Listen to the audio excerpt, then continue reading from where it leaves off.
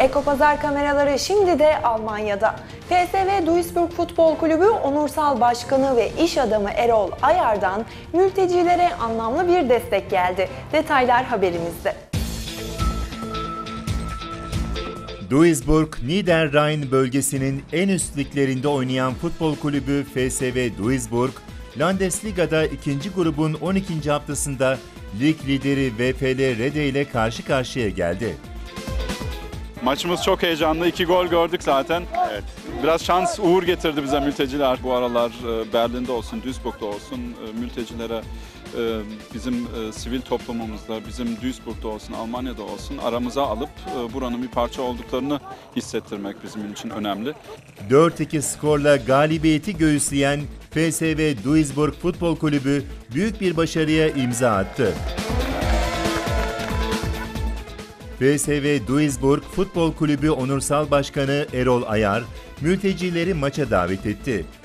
Suriye'den gelen çocuklar, gençleri görüyoruz. Türk takımımıza destek veriyor. Erol Bey şöyle bir yaklaşalım. Mahmut Bey'le berabersiniz şu anda. Heyecanla izliyorsunuz maçı. Evet sağ olsun ayağına sağlık. Değil mi? Bize şans getirdi Şans bugün. getirdi Mahmut Bey. Her zaman bekleriz bundan sonra inşallah.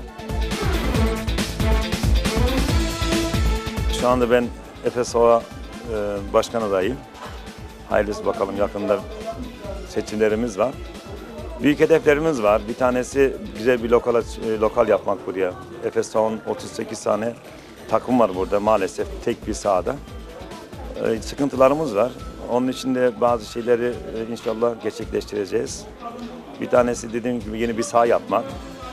Gençlere hizmet vermek burada önemli olan bizim için. Hedeflerimiz şampiyon olmak inşallah bir gün. Bugün için hiçbir Türk takımı maalesef bir Oba çıkmadı. Hedefimiz şampiyon olmak. Türk takımlarını, e, kulüplerini birleştirip güzel bir büyük Türk kulübü gerçekleştirmek istiyorum.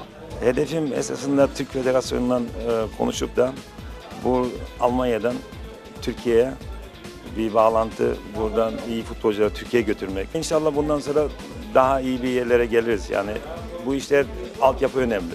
Bir hedefimiz var. Hedefimiz de burada FSA'yı iyi bir yerlere getirmek. İnşallah gerçekleştirebileceğiz. Onursal Başkan Erol Ayar'ın da destekleriyle FSV Duisburg Futbol Kulübü için modern bir spor binası da hayata geçmeye hazırlanıyor. Erol Bey abimle e, farklı projelerde beraber çalışmamız var. E, sağ olsun kendisinin fari e, başkanı olduğu kulüp için bir proje geliştirdik ve önümüzdeki günlerde bu projenin bütün haliyle bir sunumunu yapacağız.